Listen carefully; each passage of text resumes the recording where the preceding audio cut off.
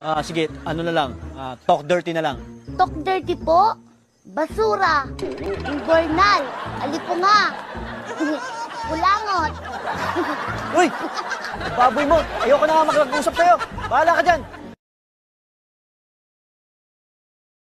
Bugs, hindi ka na nga mahal ni Ana. Shut up! Kung napapagod ka na, umalis ka na sa buhay ko dahil hindi na kita kailangan! Mabuti na lang. Sinunod ko ang payo ng aking mga magulang na huwag ako masyado magiinom ng kape dahil masama sa aking kutis. Dahil sa totoo lang, ikaw ang pinakamagandang lalaki sa balat ng lupa. Hayop ka talaga! Ang ganda mong lalaki! Nawarin ko sa mga kasalanan ko, sa mga kasinungalingan ko. Nagbibiro lang naman ako eh.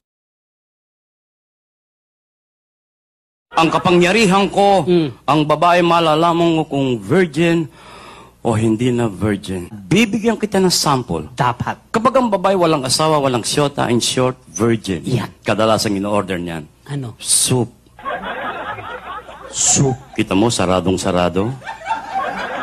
Kahit na hangin, hindi makakapasok dyan. Abaga, oo nga, pikit na pikit eh. Oh. Pag yan nagkaroon ng syota, Mhm. nagkaroon ng konting karanasan.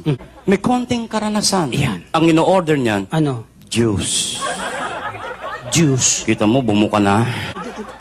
Sige. Pag yan nag-asawa, Aha. nagkaroon ng isang anak, Yan. may karanasan na yan. Of course naman. Ang in-order niyan, Ano? Coke.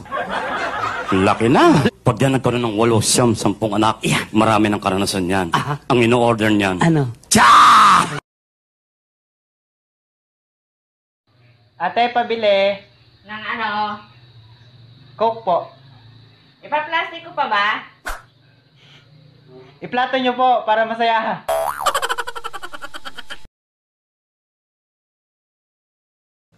Bagay kaya sa akin ang payat? Hindi po. Hindi po. Never. Hindi po. Gusto ko kasi mag-diet eh. Wag. Wag. Wag. Wag. Wag. Wag. Bakit?